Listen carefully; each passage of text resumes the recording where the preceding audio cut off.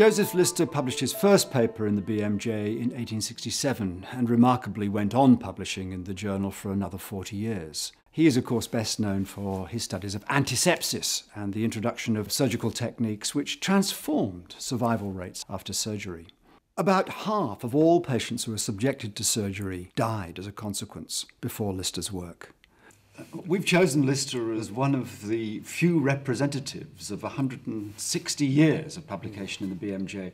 Is that, is that justified? What was so special about him? Oh, it's certainly justified. I mean, the change, the, the, the benefit that uh, he brought to generations of patients as a result of uh, antiseptic and, and later aseptic technique, it uh, enabled uh, surgery of uh, the abdomen, surgery of the chest, surgery of the joints, surgery of the head, uh, none of which would have been possible without antiseptic techniques. Before that, making an incision was almost a kind of death warrant. Absolutely. And yet, of course, that's, that's what surgeons Hospital do. gangrene. He was interested in wound healing and wound infection. How does a wound heal, and why in those days did it almost invariably go purulent. Yes. People knew from the earliest days that if you break your arm, eventually it'll stick together. But if there's a simple fracture of the arm and a spicule of bone has gone through the skin, mm-hmm. that's terrible. In Glasgow, when Lister got out his figures, there was a 90% amputation rate for what we call compound fractures. Yes, yes, yes. And there was a 50% mortality rate. I mean, you break your leg, yes. you're going to have your leg chopped off, almost certainly, and you've got a 50 50 chance of dying. Before the introduction of antiseptic techniques, uh, I was shocked to hear uh, about the extraordinarily poor survival rate after even quite modest surgery. Did Lister himself suffer the same kind of uh, uh, uh problems of survival? in the early stages? He, he certainly did. I mean, no surgeon in those days was immune from it. Syme had established what became known as the cleanliness and cold water school of surgery. He regarded wound cleanliness as important. And cleanliness, as practiced by Syme, was also practiced by Lister. So I think in, in, many ways he had less of a problem than many other surgeons, but of course it was still an enormous problem. So, what was the state of knowledge of the basis of infection at, at, that stage? The generally accepted theory was the, the miasma theory. They didn't have a concept of microorganisms at that time, and that, of course, was the, the great contribution that, that Pasteur made. Here's this chap, Pasteur, who's shown that we all know that if you leave milk out on a, on a saucer, or urine, or wine, two or three days it gets smelly and filthy and disgusting. And of course, he showed these little animalcules, these little organisms, these microbes floating in the contaminated milk. Now, people knew about these organisms, mm. but they didn't bother about them at all. So as soon as Lister read Pasteur's paper, the penny dropped. It wasn't the air getting into the wound, it was the microbes getting there. It's just as simple as that.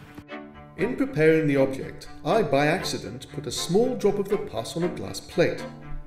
On more careful examination, I saw numerous pellucid cells, such as A, B, C, the nuclei of some of these resembling some cells such as would be called ordinary pus corpuscles. For example... So how to kill the microbes? He experimented with a number of chemicals, zinc chloride, one or two other things, didn't work. And then he heard that the drains in Durham uh, were absolutely revolting, and they poured carbolic acid down the drains, and the smell went. And having visited Durham, Lister knew that the smell of the surgical ward at the Glasgow Royal Infirmary was worse than the sewers of Durham. So he thought, I'll kill these organisms with carbolic. And he owed an enormous debt to Pasteur. And of course, in later life, they famously met at the Pasteur Jubilee in Paris in 1892. And the portrait here of these two distinguished old men hugging each other in public. The, the first occasion in which he used this with success uh, was on a, a, young lad of 14 who uh, had been run over by a cart who had sustained a compound fracture of his tibia and fibula. So Lister very carefully mopped out the wound with carbolic, put a carbolic dressing all over the leg, put a splint on, and left him for four days. Took the dressing off, and the child walked out of hospital six weeks later on, on both legs. I feel sure that if I had resorted to ordinary dressing, the progress of the case would have been exceedingly different. His first paper in the BMJ, 1867, I think, what, what, were the key features of that? Well, he described the cases in which he had successfully used this technique. He used the word antiseptic and he used the phrase antiseptic surgery. And he described an outcome from these compound fractures without infection that was practically unknown in those days. You would think that as soon as this was reported, uh, everybody said, well, thank God, thank God for Lister. There was a lot of opposition to him. For centuries, people had described all sorts of unguents and mixtures and applicants to put on wounds which didn't work. You see, some, some more revolting than others. Yes. So this is another piece of quackery. Piece really. of quackery. Yeah. And Lister said success depends on meticulous attention to detail. You've got to do things exactly the way I yep. tell you. Like any innovator, he had uh, opponents because uh, this was a fairly radical step for most surgeons. Uh, he had opponents in, in Glasgow, uh, he had opponents in Edinburgh, and his uh, principal and most influential opponent in Edinburgh was James Young Simpson of chloroform fame, but also James Spence here, who's the professor of surgery in Edinburgh at this time, who publicly derided Lister and derided him in print as well. But he had his supporters, and of course, uh, his supporters came to outnumber his opponents. The carbolic acid didn't just kill germs, it killed healthy cells as well, and he tried various ways to make it less irritant. He said, we'll kill the organisms in the atmosphere. Yes. And so he introduced the carbolic spray. And there's Lister's car, one of his models, you see. And the job of the assistant was to do an aerosol of carbolic in, in the operating theatre. In the operating theatre, yeah. which of course you know and I know.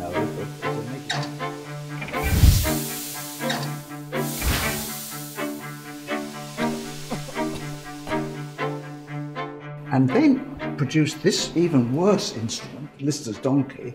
Uh, and there's the handle. Again, this tremendous spray with everybody coughing and sputtering.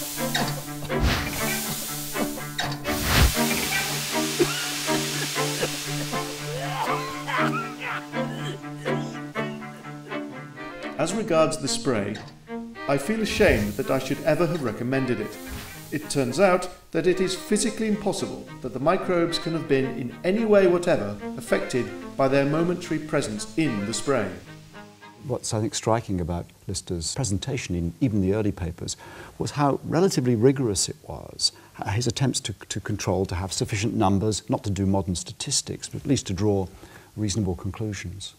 Well, he was a scientist. Much of his success was due to his personality. He had a, a, a rigorous scientific uh, background, and when uh, opposition uh, to his work, and of course there was opposition, uh, when that opposition arose, he, he dealt with it in a very unemotional, scientific way.